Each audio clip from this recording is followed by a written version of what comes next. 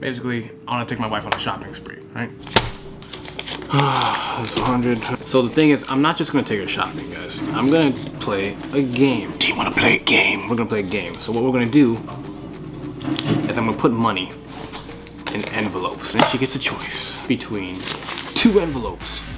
And in each envelope, there'll be a certain amount of money in. Now, whatever she picks, that's the only amount she gets. We don't know. But I think that's a fun game. Let's try it out. And just for fun. Just for fun. We're gonna throw some coins in one envelope. What's your favorite store in the mall? Cheesecake Factory. Yeah, that's first stop on the shopping spree. Auntie Anne. so you gonna save it? I'm gonna save it. Uniqlo. Here you go. Oh. Fifteen dollars. You don't like it, huh? I can do some damage with a hundred bucks. Envelope number five. Oh. Hey, where you going?